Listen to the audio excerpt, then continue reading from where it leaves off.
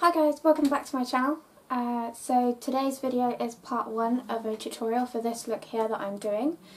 Um, so in this video I'm going to be showing you how to get this um, skeleton side. Um, what you will need will be a white eyeliner, some white paint and a little bit of foundation, a black gel liner, uh, black and grey eyeshadows and then you will also need some detail brushes, um, so some really really fine brushes. Uh, you could use this tutorial for any look that you like or you can follow along with the tutorials that I'll be posting to complete this look, um, all of which I will link in the down bar once they are up.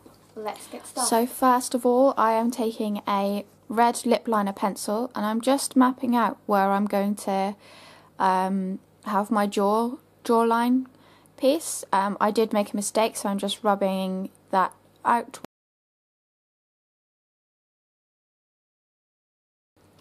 So as you can see I'm just continuing that line all the way down my neck and down my chest as well and I did it about halfway um, across my lip line so next I am taking some white face paint mixed in with a tiny, tiny drop of foundation. I wanted it to be just off-white. And I'm just making sure to cover that whole entire area that I've marked off there, including my ear. You really don't want to forget your ear. Um, I did take it down my chest and my shoulder as well. And I also kind of took it a little bit across my back. You can get someone to help you with that if you want to be able to have the whole entire design going across your back as well. So here I'm just continuing it, continuing it down my arm and now I'm just going to set that with some white um, foundation powder. This is one by Stargazer. So I'm just setting everything and now I am drawing a line with my black gel liner I'm basically just marking out where my jaw um, gap is going to be and then I'm continuing that line all the way across to my lip line. So I did a very rough sketch and then I filled it in with my black gel liner and then I just made a couple of adjustments to the um, shape of the of the gap and I made sure to fill that in as well.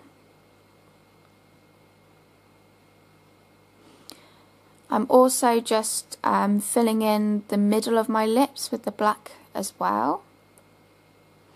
And then I'm setting everything that I've put down in black with a black eyeshadow and I'm just using like a flat um, liner brush to do that. You can use any sort of brush you like. This was just the one that I had to hand. Just making sure to set everything down so it doesn't go everywhere. Next I'm taking my NYX Jumbo Eye Pencil in the colour Milk and I'm basically just drawing little dots where I want the teeth to be. Um, I say little dots, they're quite big aren't they? Um, but yeah, you just want to draw that along your lips and then up to the gap. And I did that on the bottom and then I did the same thing on the top. Um, I think I did the teeth slightly smaller on the top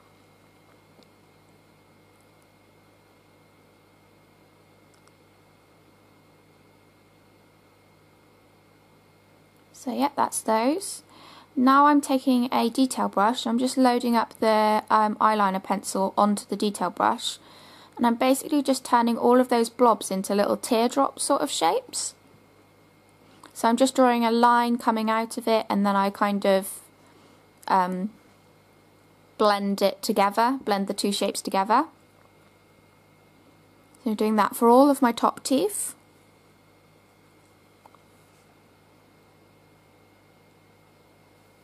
Sorry, you can't really see what I'm doing. I wasn't concentrating on staying in film. And then I'm doing the exact same thing on the bottom, but I'm making the line a little bit longer because there's a little bit more room to actually put the teeth in there.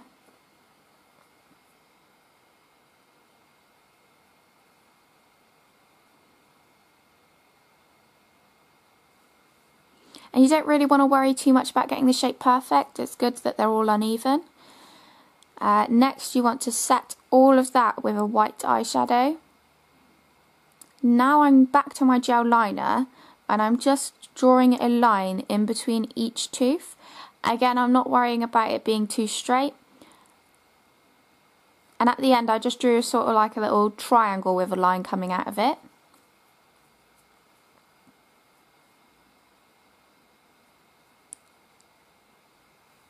I did that for both um, sets of teeth. And now I'm going in between the teeth and sort of like filling in uh, the, the gaps that you'd get to make the teeth look curved at the bottoms.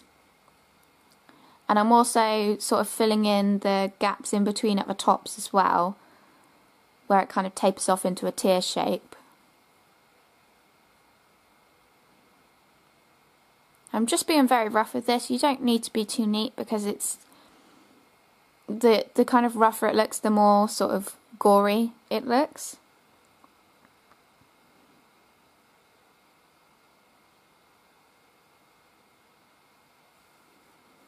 And then I realised I hadn't filled in the gaps between the um, middle teeth.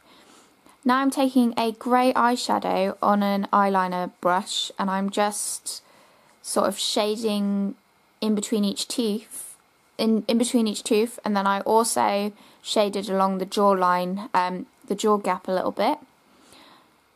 Next what I did is I did a little line across my chin and I really heavily blended that out with my finger. And then I'm doing the same with the teeth at the top and the same with the jawline, just blending a couple of little lines in there around it just to make it look a little bit more detailed. And now I'm going in with a black eyeshadow again.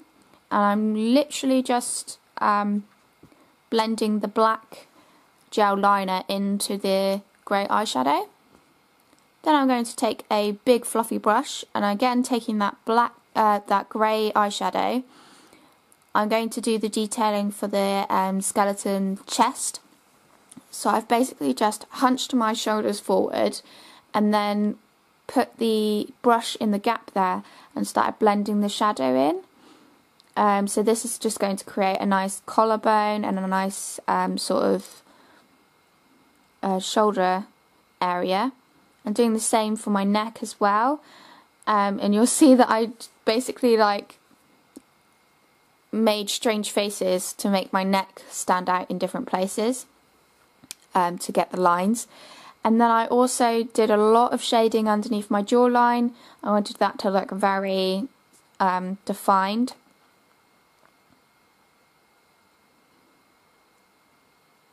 And you just want to play around with it really. There's no right or wrong way to do this. You just sort of see where you want the shading to be.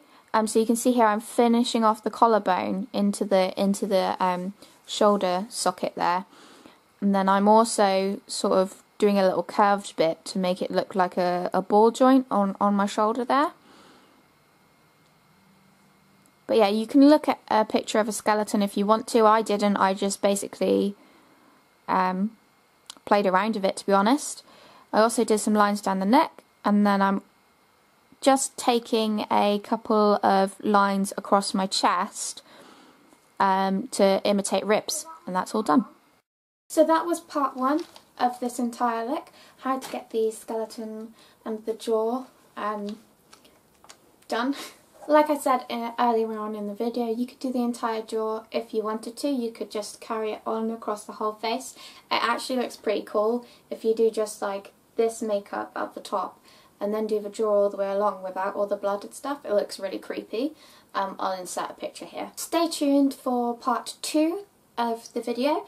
Um, in part 2 I'll be showing you how to get the uh, beauty look rather than um, the gore and everything. I'll link it below once it's up. Please give this video a thumbs up if you enjoyed it and don't forget to subscribe so that you don't miss any of my Halloween videos that I've got coming up. Thank you so much for watching and I'll see you in the next one. Bye!